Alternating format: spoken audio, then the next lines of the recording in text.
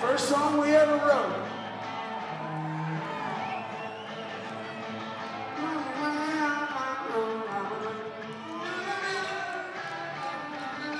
See, you shouldn't have taken the guitar, Brad. We all live on the edge of town, where we all live in the soul of the ground. People start talking on the do just me. Said we gotta move out, go city moving. I said we gotta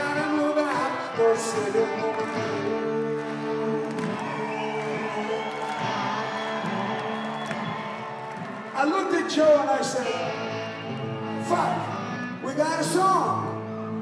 Because the label ain't gonna take you on unless you have songs. We had no songs.